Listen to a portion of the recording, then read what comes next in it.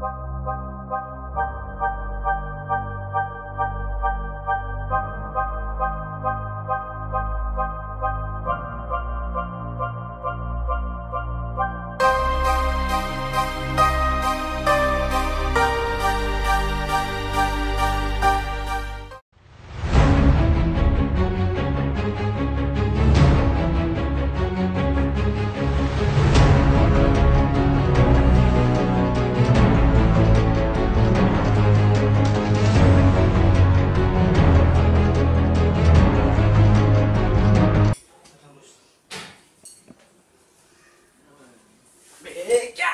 देखा है पहली बार खिचड़ी में तू बेल की दादा